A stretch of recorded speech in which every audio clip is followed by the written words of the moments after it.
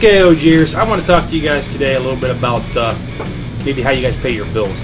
Um, I know not everyone thinks like me, but I don't like sitting down every month and writing out a check, putting it in an envelope, blah blah blah blah blah, taking it to the post office and mailing.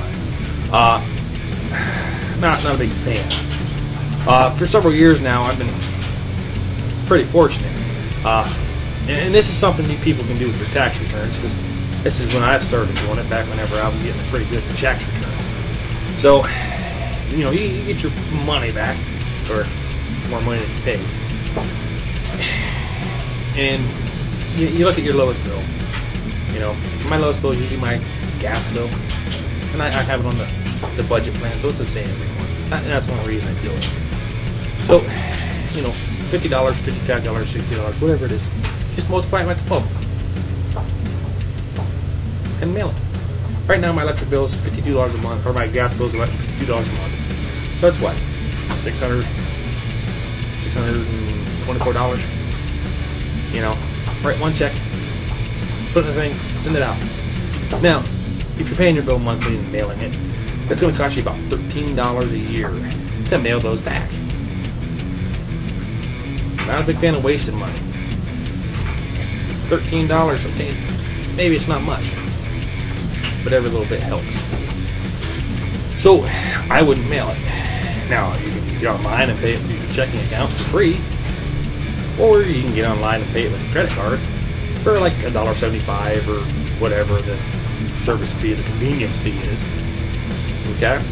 Now I prefer to use my Capital One 1.5 cash back card for 1.5% cash back. So when you look at that, you know that's like what I don't know, nine dollars cash back if you're getting. So you go ahead and pay that, and then you go through your app and you pay the card off, so that way you're not getting charged interest. And then in a day or two, you'll have your cash back bonus that you can apply to something else. So you've saved yourself thirteen dollars in postage, stamp, and check for the year. Plus, you've got yourself nine dollars cash back. That you didn't have to do anything for. That's like twenty-one dollars. Okay. Now, I don't know about you, but that's like over three percent interest. Are you getting that much from your savings account? I mean, if you're a rich guy, yeah. But if you're a poor guy, because you're getting a tax return, you ain't, you ain't getting that much. Not that not that high of a percent. Maybe maybe half a percent, maybe one percent, but not three. So you've just made yourself three percent interest for paying your bill. Now you know, then you move up to the next bill, which in my case, the, the next highest bill is my internet, which is seventy dollars a month. You know, you take that, and you go, okay, it's eight hundred and forty dollars. Now I don't get penalized for paying that one. You know, so I can pay that one with my credit card. Get the 1.5 cash, and that's twelve dollars plus the thirteen dollars I save from not mailing it. a little bit better. You know, and really, if you look at it, most of your bills aren't that much. But the most important thing here is pay your electric or pay your gas bill. That freed up fifty dollars a month. Pay your internet bill. That frees up another seventy dollars a month. Pay your electric bill. That frees up about hundred dollars a month. But whatever your bill is, I'm just using my numbers. what else is there? Pay your trash. That's like twenty dollars a month. Pay your water.